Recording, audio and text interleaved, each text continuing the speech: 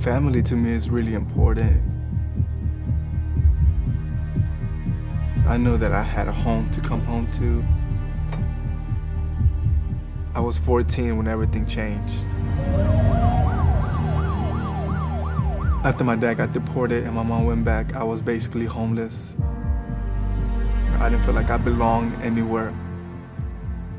I just knew that I had to continue going. I knew that one day I was gonna be able to make it out of my situation.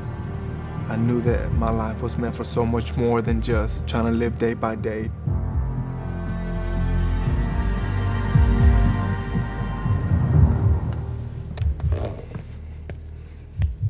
My story is not as unique as you may think. It's similar to millions of people living in America. I feel like I'm actually going back in time. I see myself in those kids.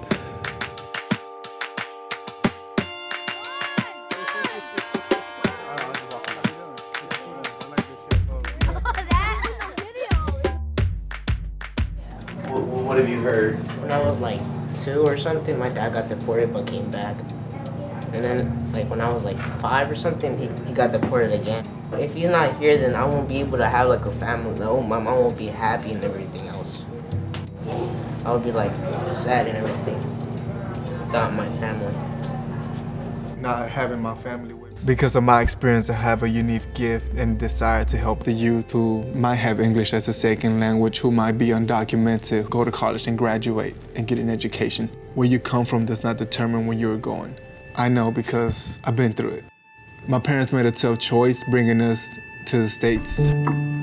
There was slim opportunities in Mexico to make it. They wanted to give us every fighting opportunity. They wanted me to get an education. They brought us here. They didn't make it, but I decided to stay and do the best that I could.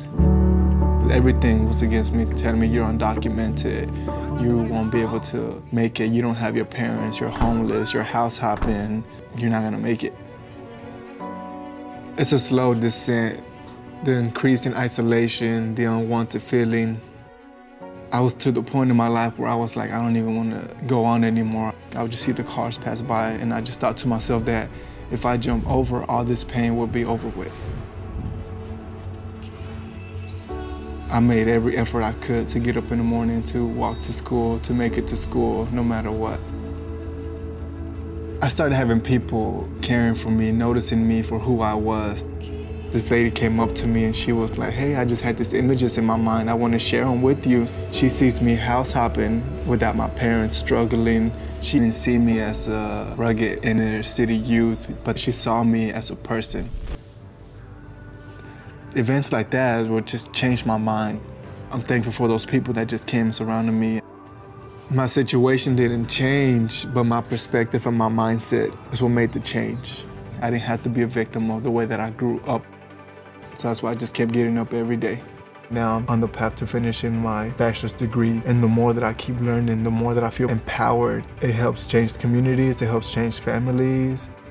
I'm just amazed at where I came from to where I'm at today. I couldn't get here by myself. And these kids, they have all, all the potential that's available within them. They just need someone to unlock it, to help them see that beyond their circumstances.